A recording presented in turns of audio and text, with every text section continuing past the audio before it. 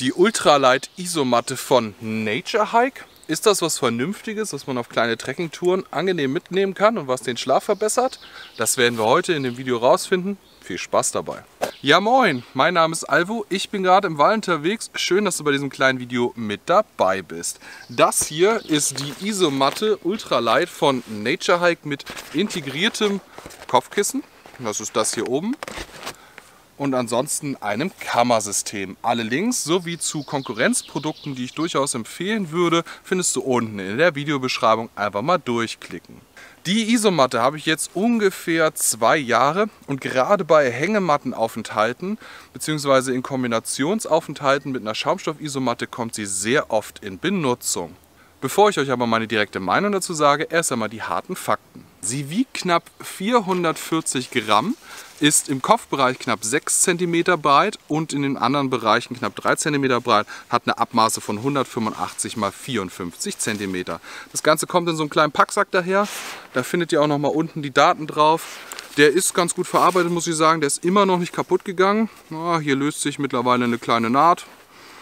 Hm, also äh, in Ordnung, ne? sag ich mal. Es passt auch ganz gut immer wieder rein.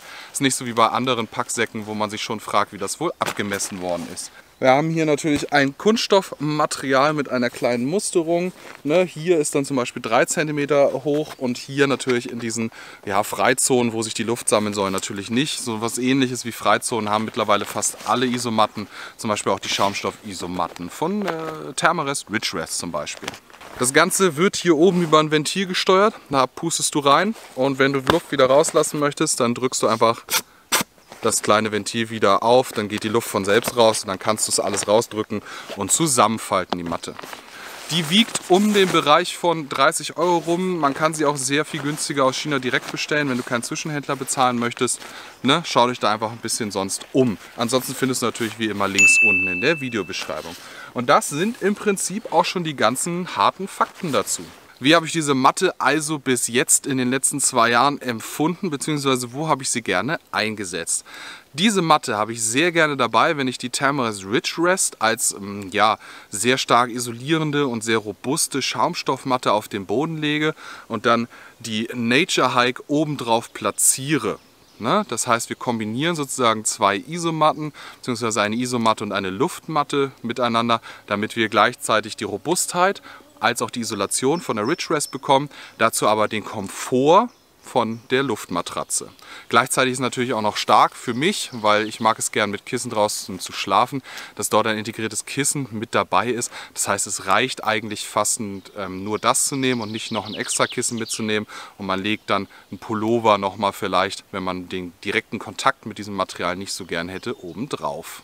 Sehr gut lässt es sich dann so auch kombinieren in der Hängematte. Ne? Da ist das dann auch sehr angenehm, obwohl man da nicht so sehr das braucht, weil dort hat man nicht so den harten Untergrund. Da reicht dann die Thermarest Ridge Rest meistens aus. Wo ich sie sehr gerne dann hernehme, ist wegen dem sehr kleinen Packmaß. Ne? So klein geht das Ding im Endeffekt zusammen. Vor allen Dingen auch noch später kann man da ordentlich was zusammendrücken. Ähm, wenn ich leicht und klein unterwegs sein möchte, zum Beispiel nur mit einer Hängematte. Dann nehme ich das Ding, mache das sehr klein zusammen, stopfe das irgendwo an den Rand und habe nur diese Matte als Isolation in der Hängematte, wo sie am Tage bei moderaten Temperaturen auch dann ausreicht.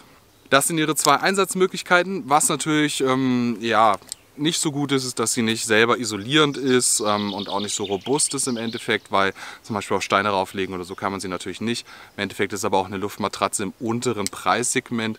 Das heißt, man kann von ihr natürlich nicht dasselbe erwarten wie von einer Thermarest Neo Air ähm, oder anderen Matten. Ne? Wenn sie nur ein Fünftel davon kostet, dann ähm, leistet sie trotzdem genug und hat ihre Anwendungsbereiche, die ich euch eben genannt habe.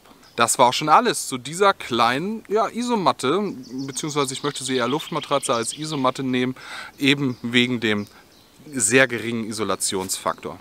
China-Sachen müssen nicht immer schlecht sein, sie können auch gut und günstig beziehungsweise in Kombination auch durchaus gut sein.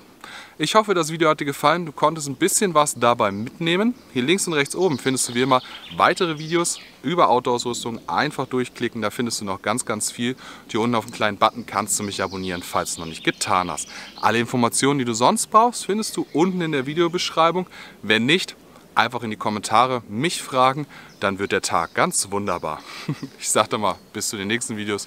Tschüss, tschüss.